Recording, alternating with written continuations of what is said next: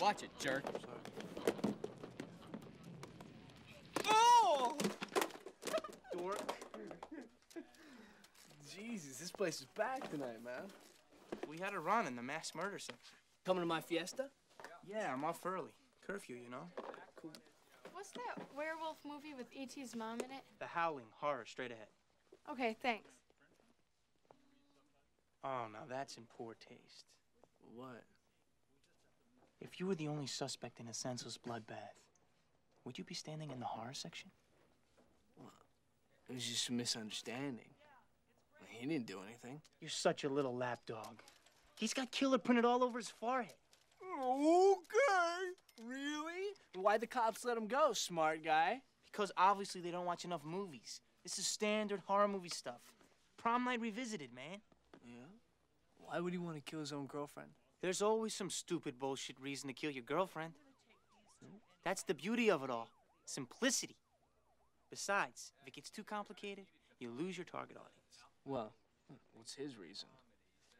Maybe Sidney wouldn't have sex with him. what, she's saving herself for you? Maybe. Now that Billy tried to mutilate her, do you think Sid would go out with me?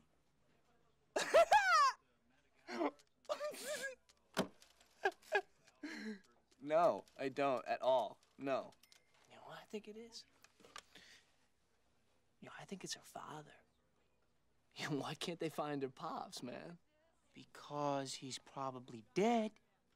His body will come popping up in the last reel somewhere. Eyes gouged out, fingers cut off, teeth knocked out. See, the police are always off track with this shit. If they'd watch prom night, they'd save time.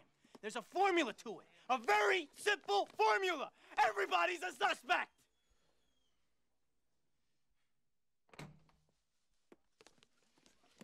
Telling you, the dad's a red herring. It's Billy.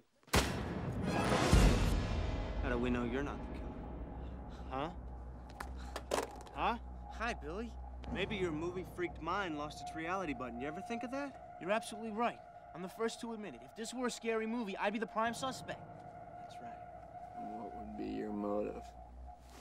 It's the millennium. Motives are incidental. Millennium. Hmm. Millennium, I like that. That's good. Millennium. Good kid. Millennium. Good word, my man. Now you're telling me that's not a killer.